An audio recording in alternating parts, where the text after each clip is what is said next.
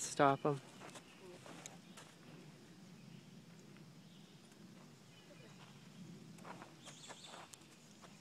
And then lightly back him. Just lightly, see if he'll back. Ask him to back.